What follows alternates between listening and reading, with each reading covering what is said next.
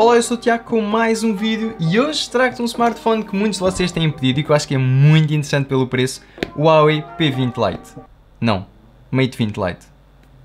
Mas então, como tu sabes, a Huawei tem duas grandes gamas por ano, que são a gama P e a gama Mate. A P são os topo de gama, o Mate é topo de gama, mas com um ecrã maior tipicamente. O Lite, pronto, é menos topo, mas tem um preço mais interessante. E este aqui tem de facto características muito interessantes pelo preço. Hum, cortar aqui o selo pela primeira vez, maravilhoso. Mas vamos lá deixar-nos de conversa e vamos ver o que é que ele tem assim tão especial e porque é que está a chamar tanta atenção de tanta gente. É isto que vamos ver hoje no unboxing, por isso sem mais demoras, bora lá. Muito bem, vem para aqui a cábula para o lado, vamos cá abrir. Oh, azul! Ia que giro! Aí é muito giro. Momento de pausa aqui para te mostrar o smartphone. É muito elegante. E aqui as câmaras estão super salientes, como estás a ver. Eu sinceramente acho que isso é um bom indicador, porque uma boa câmara é definida também pela quantidade de vidro que tem. Por isso, se esta aqui tem mais saliência, pode ser que também tenha estabilizador óptico. Vamos ver isso. Quer dizer, eu vejo já. Bem, não estou conseguindo confirmar. Mas, o que importa mesmo são os resultados. Por isso, assim à primeira vista, é realmente um smartphone agradável de segurar. Vamos já ligar. Gosto da sensação de carregar aqui nos botões. Aqui à frente temos duas câmaras, portanto, quatro câmaras, muito bom. Em baixo temos USB-C, maravilhoso. Uau, isto continua a subir pontos. E não tirou a saída de áudio. Muito bom também. Depois, claro, por baixo temos aqui uma saída de som. Já vamos verificar se sai também aqui à frente. E aqui temos uma ranhura para cartões de memória que... Não, ao contrário, é para... Calma, vamos ver para que aqui é. O que é isto? Uma capa? Uma película.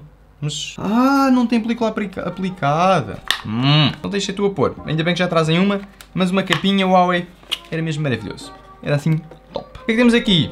Um cabo para carregamento. Carregamento é rápido ou não? É, sim senhor, é bastante rápido. Boa. E uns auriculares com ligação 3.5. Nice. Por acaso a Huawei costuma ser cuidadosa e lançar sempre assim uns fones dentro da caixa, isso dá jeito. Mas então, tem aqui de certeza português de Portugal e do Brasil, cá está. Claro que li os termos e aceito, como é óbvio. Já está aqui a ligar, que já tem net. Pronto, aqui é a parte em que eu coloco o meu e-mail e muitos de vocês perguntam como é que eu faço o restauro, é a partir daqui. Portanto, basta colocar agora aqui o e-mail e a password e já fica. Portanto, vamos cá tratar disto. Lá, lá, lá. Aprovar a entrada aqui o sign-in. Como estás aqui a ver os métodos de bloqueio, tem reconhecimento facial, aqui com as câmaras da frente, ou impressão digital. Eu gosto sempre da impressão digital, em cima na Huawei é super rápida. Ah, o pin obriga-me a ser de 6. Então, 1, 2, 3, 4, 5, 6. Maravilhoso. Vamos pôr o dedo, cá está, é muito bom, muito rápido. Olha para isto. Não, sério, a Huawei, a Huawei nisto não tem... não tem. Não tem comparação. É muito bom. Cá está, ele aqui pergunta se eu quero copiar os dispositivos a partir de algum. Sim, dispositivo Android. Ah, pera, este aqui é da Huawei, então não quero. Vamos ver. Escolhi então a opção a partir da conta Google, lá lá lá, e aqui tem cópia de segurança, Mi A2, OnePlus, Pocophone, Polaris, é o Mi Mix 2S, não sei porque é que se chama Polaris, quer dizer, sei porque eu pus uma ROM Custom, a de 1010, ainda era beta, portanto está-me a perguntar o que é que eu quero. Se eu quero as 41 aplicações, se eu quero o histórico das chamadas, as passwords Wi-Fi e etc. Instalar aqui estas coisas, pronto, restaurar, seguinte, e ele agora vai fazer isto tudo sozinho. E enquanto ele faz isto, temos aqui um ecrã de 6.3 polegadas, que não é assim tão grande, não parece assim tão grande, sou-te sincero, isto é do tamanho do Note 8 que eu andei a usar, e sinceramente não me parece ser assim tão gigante, exatamente por ter o espaço muito bem aproveitado, com bordas super finas. Tem também aqui a questão da notch, que não afeta as notificações. Como estás aqui a ver, tem aqui notificações. A Huawei fez isto muito bem. É uma crítica que eu faço a outras marcas, por exemplo o Xiaomi ou o Mi que está aqui e que vais ver brevemente. Portanto, gostei deste pormenor. E o facto dele ser em vidro, de facto, mostra que houve um cuidado especial com este modelo por parte da Huawei. Querem mesmo garantir uma boa experiência e isso é a gama P e a gama Mate são brutais. Ora, concluir. O ecrã é então IPS LCD, portanto tem cores muito boas, como estamos aqui a ver. Muito bom. Vai-se vê muito bem no exterior. Resolução Full HD Plus por ser assim mais esticado. Já está aqui a instalar estas coisas todas, como estás a ver. Tem aqui as tais notificações. Corre o Android 8.1, que não é o mais recente. Vai ser atualizado para o Android 9 daqui a uns meses. Não sei quantos meses. A Huawei demora um bocadinho de tempo a atualizar. Que é normal porque tem aqui a máscara da Huawei, como já deves conhecer. É MUI, que altera um bocado o aspecto e as funcionalidades, adiciona algumas funcionalidades também, mas essencialmente o aspecto é que varia, mas se vens de um Huawei, então não vais sentir diferença nenhuma, pelo contrário vais sentir bastante familiarizado com esta interface. Ups ecrãs ali também.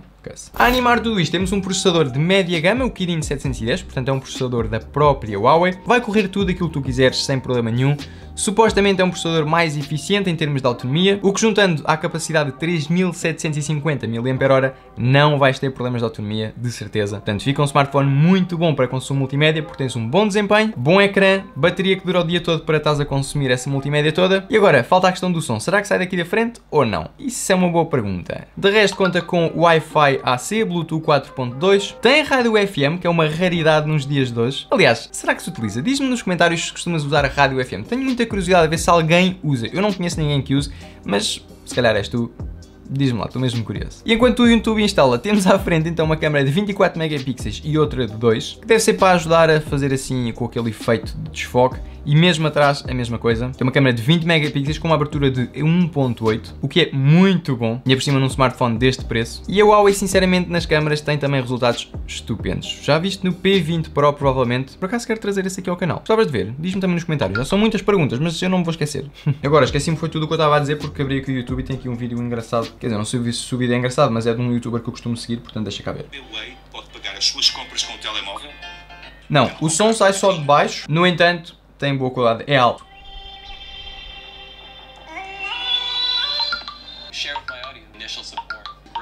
Estás a ouvir este Ele é rápido em instalar aplicações.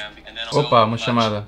Isto é importante, calma. Para tudo. Ainda bem que me telefonaram que assim, pronto, estava aqui absorvido no vídeo, nunca mais ia sair daqui. Mas gostei, gostei da qualidade da imagem, gostei da qualidade do som, só sai em baixo. Tem aqui algumas ideias interessantes, mas não, não quero entrar por aí.